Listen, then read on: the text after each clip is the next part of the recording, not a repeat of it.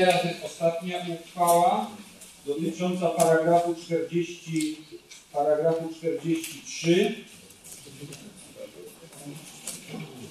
Paragraf 43. I proponuję, żeby paragraf 43 brzmiał e, w sposób następujący. Prawo interpretacji niniejszego statutu, regulaminów zarządu oraz komisji Co? Jest?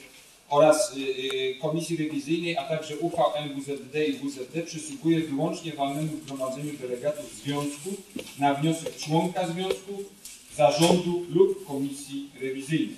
Też mówiłem wcześniej, chodzi o to, żeby ci, którzy uchwalają, mieli tylko i wyłącznie oni mieli prawo e, interpretacji.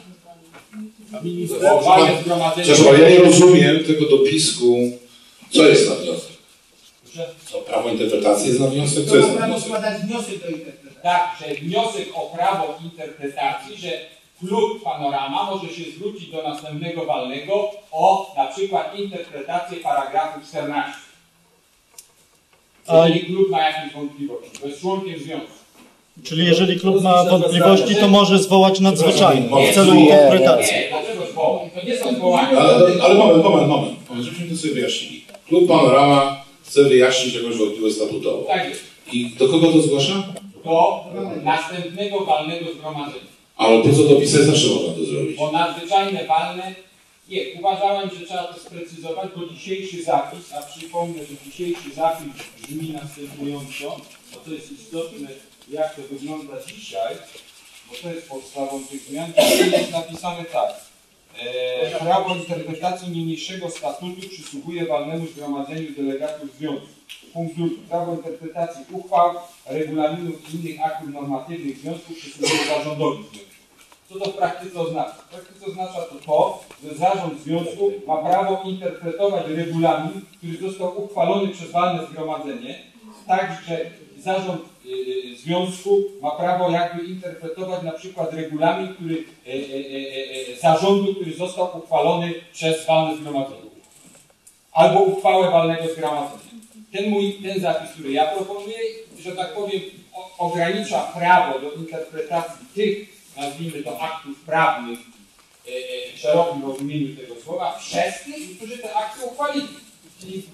Ale dobrze, tylko chwileczkę. No, rozumiem, że jeżeli zarząd na, na podstawie innych, e, czy komisja rewizyjna na podstawie innych aktów prawo do czegokolwiek, w tym między innymi na przykład do ustalania regulaminów komisji problemowych. Chce Pan również te regulaminy tej komisji problemowych włożyć pod nadzwyczajne walne? Dlaczego? Nie pytam, czy pytam. Dlatego, że pa, paragraf, e, paragraf obecny 43 ust. 2 e, nie mówi, że chodzi o uchwałę walnego, ani nie mówi, że chodzi o regulamin zarządu. W związku z tym wystarczy tu napisać, że uchwały, rozumie się tutaj oczywiście uchwały podejmowane przez zarząd, regulaminy, za które odpowiada zarząd i inne akty normatywne, za które odpowiada zarząd. To jest oczywiste do rozumienia, a jeżeli jest nieprecyzyjne, to można to dopisać. Ten zapis, który tutaj jest, jest zapisem, oczywiście można go zostawić, ale jest nadmiarowym. Dlatego, że jeżeli prawo interpretacji statutu i regulaminu zarządu, mówię w tym sensie do, do, dookreślone, i regulaminu komisji rewizyjnej przysługuje walnemu, to zupełnie wystarczy. A pisanie o dodatkowych wnioskach na wniosek tego i tamtego, że panowie, proszę Państwa, e, ograniczanie, e, możemy sobie powiedzieć oczywiście zgodnie ze statutem, walne zgromadzenie jest najwyższą władzą, ale nie jest władzą, że tak powiem, operacyjną. No możemy ustalić, że nadzwyczajne walne jest, że w ogóle walne jest władzą operacyjną i, i, i obradować non-stop. I każdą decyzję będzie podejmować nadzwyczajne lub zwyczajne walne. Po co zarząd? Po co, znaczy zarząd nie potrzebny, nikt nie jest potrzebny, tylko potrzebne jest walne i delegaci, którzy mają dużo czasu. Jakby to jest taki krok no, mocno wstecz, nie? ale to jest moja uwaga. Proszę wykreślić te słowa y, od przecinka, tak, na wniosek członka i czyli zakończyć kropką za słowem związku. Tak? Dobrze, teraz mam takie pytanie. Mieliśmy sytuację, mm, jeśli Państwo pozwolą, przywołam kwestię, która była dyskutowana poprzednim walem. Mieliśmy uchwałę w sprawie zmiany tego punktu dotyczącego e, zwoływania walnego raz na dwa lata. Uchwała zgodnie z matematycznie, matematyczny sposób została podjęta wadliwie, natomiast zgodnie z pismem Komisji Uchwał Wniosku została podjęta prawidłowo. Teraz, e, jeżeli my jako zarząd mamy obowiązek wykonać uchwałę, to jak wygląda to w, w tej sytuacji? Czyli na przykład my nie zgłaszamy zmiany do KRS-u, ponieważ uważamy, że jest konieczność interpretacji, która z tych dwóch e, punktów, e, czy została prawidłowo matematycznie uchwalona, czy, zosta, czy wystarczy to, co napisała Komisja Obowiązków i czekamy z pisem do KRS-u na kolejne walne. Tak? Nie, to jest interpretacja, najbardziej, bo są dwa sprzeczne dokumenty. Przepraszam, zwołujemy natychmiast nadzwyczajne walne zgromadzenie, żeby sprawę wyprostować. Dziękuję. Czegoś jak natychmiast nie ma, mogło być minimum 6 tygodni. To po pierwsze. To jest natychmiast, Rozumiem. zgodnie z prawem.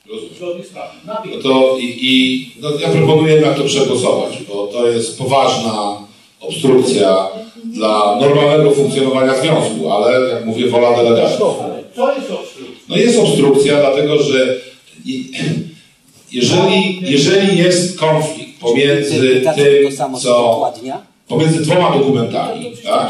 a zarząd jest zobowiązany do wykonania uchwały, a uchwała mówi, że została podjęta prawidłowo, a w praktyce okazuje się, że nieprawidłowo i mamy wątpliwość, to mamy zwołać nadzwyczajne wady. Otóż nikt nie ma na to czasu, pieniędzy i ochoty. Tak? tak. I nie należy stanowić wadliwego prawa, tylko dlatego, że się ma ambicje, że tak powiem, cokolwiek zmienić, tylko trzeba robić mądre prawo. To nie jest mądre prawo. No, przepraszam, to zagłosujemy? jest powszechna praktyka e, e, w prawodawstwie, że organ, który e, prawo uchwala, ma prawo do interpretacji tego lub organ specjalnie, jak w przypadku e, e, Trybunału Konstytucyjnego, specjalnie do tego powołany, tak? I, i, trudno, żeby, żeby zarząd interpretował Zarząd nie interpretuje, zarząd wykonuje uchwałę. Jak ma wątpliwości, to podejmuje decyzję. Natomiast jeżeli w każdej sprawie, w której zarząd już miał wątpliwość, miałby powołać nadzwyczajne walne, no to zbliżamy się do poważnej granicy Być absurdu. może Tak. się nie nadaje. Ale do pracy. przepraszam, mogę. Nie, nie, Być może mogę. Znaczy, do pracy nadają się tylko ci, którzy nie mają nigdy żadnych wątpliwości. Nie, nie chodzi A to się sprawdza tylko w kamieniołomach. Ja nie wiem, y, Paweł, ja nie wiem, czy dobrze rozumiem, bo mi chodzi chyba, że intencją zapisu jest to, że interpretacja idzie swoją ścieżką niezależnie od działalności operacyjnej. No, zarząd musi działać zgodnie ze swoją wiedzą, umiejętnościami. Oczywiście tutaj nie ma, nie ma żadnego, żadnego, czyli interpretacja jest jakimś tam później, że będzie dylemat. Zarząd sądzi, że postąpił właściwie i, i nie, niezależnie od tego, jak postąpił, walne może dać wykładnię. Jeżeli jest ona oczywiście zgodna z panującymi powszechnie y, przepisami. Natomiast nie ma, nie ma, nie ma to na celu y, jakiejś tam opiniowani. Trzeba by tam dopisać na tak, kolejnym- znaczy nie. walnym. Tak to rozumiem przynajmniej. Znaczy, mnie, mnie chodziło o podkreślenie i jakby mocne zacytowanie sytuacji, w której my, której zarząd, to nie mówmy, no, to coś to kojarzy, ale zarząd, tak?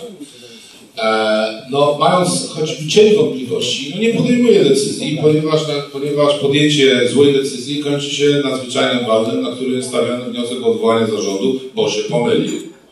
Tak? To teraz bardzo elegancko tu przedstawił, że zarząd operacyjnie działa, popełnia błędy, a kolejne walne te błędy naprawia. Otóż chciałem powiedzieć, że historia raczej pokazuje, że nie naprawia, tylko uważa to za przestępstwo. Według niektórych zgłasza sprawę do prokuratury, po czym się okazuje, że w ogóle jest burza w szklance wody. Tak? Więc dlatego o ten zapis apeluję w imieniu przyszłych zarządów, żeby było jasne, a nie tego zarządu, który niedługo kończy kadencję.